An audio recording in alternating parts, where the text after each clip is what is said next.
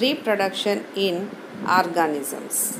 By watching this video, will able to learn about the definition of reproduction, the mode of reproduction and types of asexual reproduction.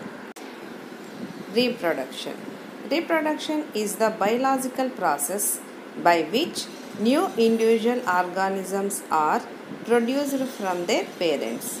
In all living organisms, reproduction is necessary life process for continuation of life. There are two forms of reproduction asexual reproduction and sexual reproduction. Asexual reproduction. Before knowing asexual reproduction, let us have a look at sexual reproduction. In sexual reproduction, male and female organisms produces male gametes and female gametes.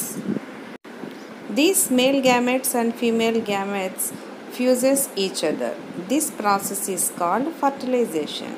Because of fertilization, zygote is forms. Further, zygote develops into new organism. But whereas in asexual reproduction, single organism give rises to new organism. An organism can reproduce without the involvement of another organism. Organisms can reproduce asexually in many ways. Some of them are fission.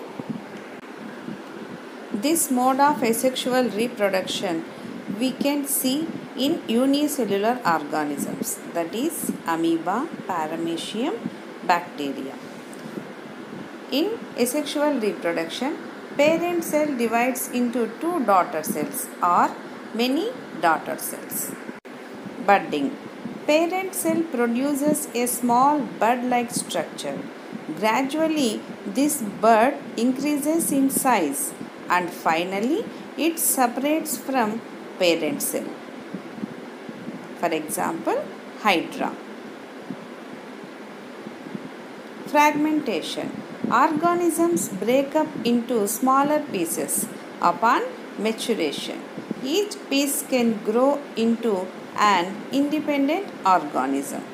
Example Spirogyra. Regeneration. When cut into pieces, each fragment of some organisms grows into an individual organisms. For example, planaria. Vegetative propagation.